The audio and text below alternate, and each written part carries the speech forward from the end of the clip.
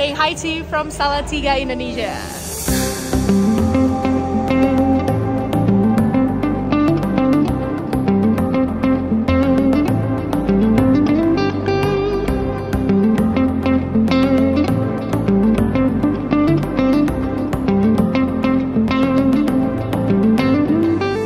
Meeting new people, meeting familiar people, that's what assembly has been like for me so far. This has been just a phenomenal trip getting here. Um, being here with people from all over the world, it's been so neat to have dinner and lunch with someone from a different country each day and to be able to worship and praise in so many languages. It truly is a blessing to be able to take part in this event and to, to see what our Mennonite brothers and sisters are doing around the world and how God is impacting their lives.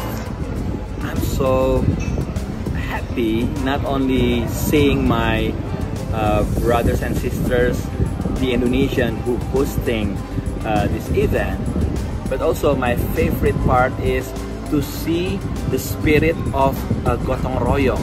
What is the spirit of gotong royong? Gotong royong means uh, work together, hand in hand, work together. I see that the spirit of gotong royong not only within the Indonesian uh, people, but also I see people from Africa, from other parts of Asia, from North America, uh, and from Latin America. They work together.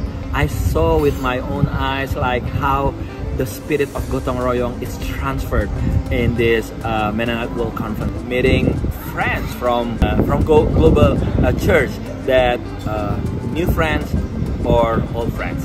My favorite part of this whole assembly so far has been the worship.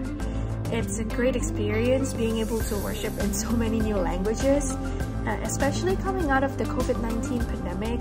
I just feel it's like very surreal being able to meet and hear amazing stories from so many new people, meeting people in person. This morning listening to the youth talk about their experience and relationship with God and how we can't just be on our own and how we need our neighbors and how in meeting our neighbors we need to help our neighbors. So if we're doing okay, that's one thing, but if our neighbors aren't, we need to be there for them and walk with them, talk with them, pray with them, and just be a source of companionship. And I thought that was very powerful, especially hearing from such young voices how important God is in our day-to-day lives and what it means to walk with him and be with him in service.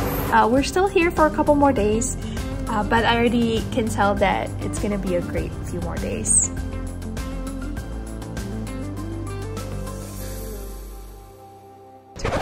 Me tell you, the food here, the desserts are absolutely phenomenal. It's so good, I wish you all could try it. But since you're not here, I will be happy to eat as many as I can for you.